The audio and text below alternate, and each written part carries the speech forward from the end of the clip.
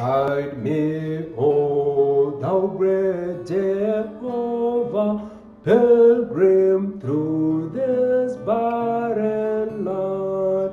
I am weak, but thou art mighty. Hold thy thou powerful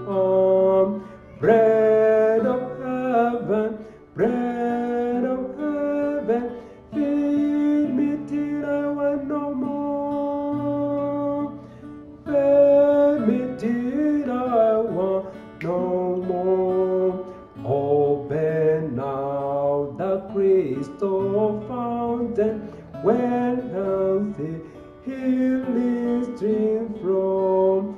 Let the fire and cloudy pillar lead me on thy journey through. Strong deliverer, strong deliverer, be thou still my strength and shield. Be thou still my strength and shield. When I tread the forge of Jordan, bid my shall feel subside, dead of and hell destruction. Let me safe on Canaan's side. Songs of praise, songs of praise, I will ever give to thee. I will ever give to thee. We are praying that the Lord guide us through this pilgrim journey that we are having as we are heading to heaven. We thank God for this day and we thank Him for His providence in each and every step of life.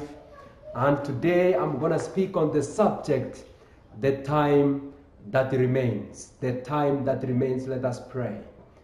Dear loving Father, what a blessing that we can approach your throne of grace with full confidence that you are our Father.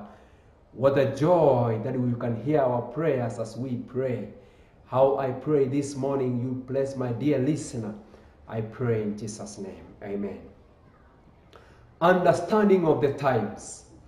The times in which we live, we need to know where we have come from.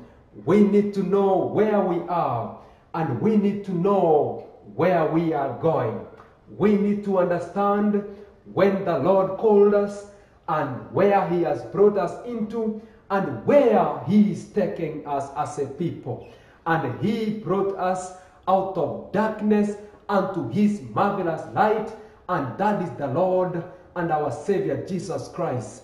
To understand the times in which we live, it calls us that we should give ourselves fully and completely unto Him. And we give ourselves unto Jesus our Savior. And by doing that, then we can say, I surrender everything to all, all to Him. We see many people, they keep on clinging to the lives of sin, those sins which they call darling sins, sins which they have cherished in their lives, and so they don't see the reason of them submitting to the will of God that it can change them once and for all. God's people, to understand the time that you live is first of all to know that you are alive, you are living for a purpose and you want to give your life fully and completely unto him that he should take care. God's people to totally surrender of self and accept that he should enter in your heart and make a great transformation.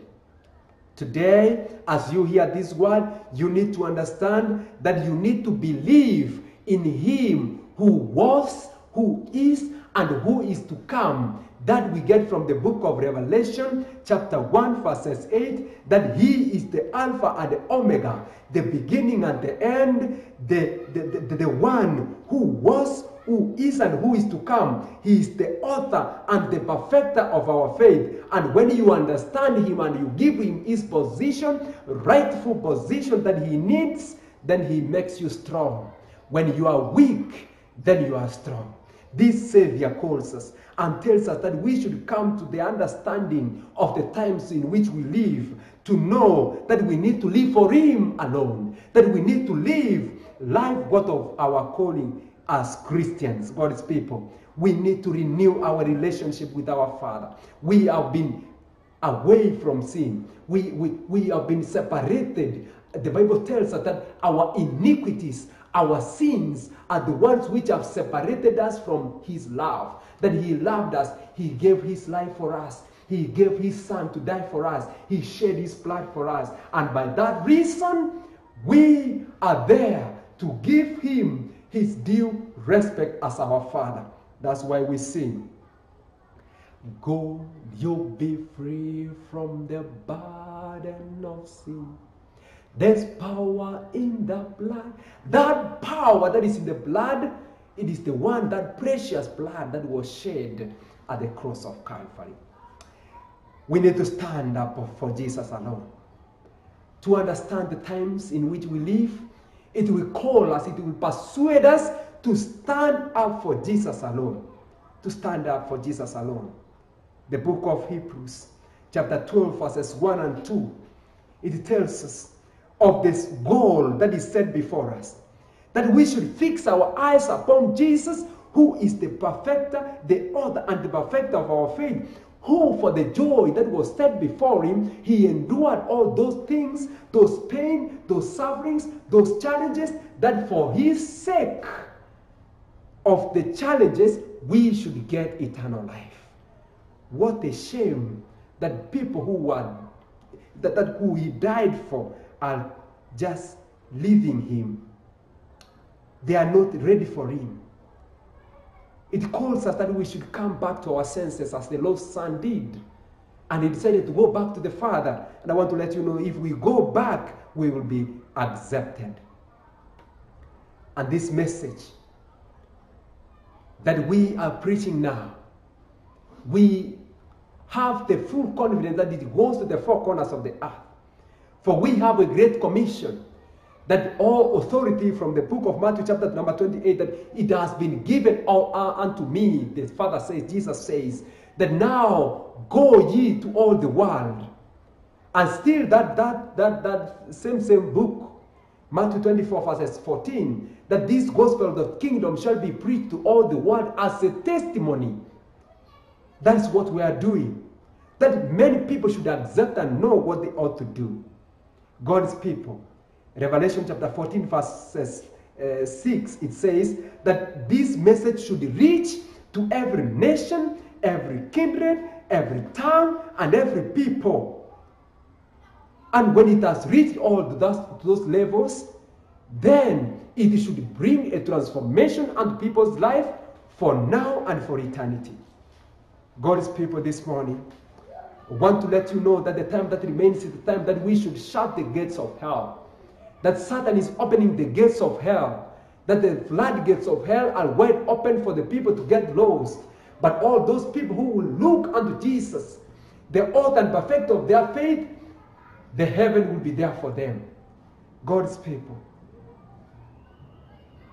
For, for the Son loved this world so much that he gave his life for it.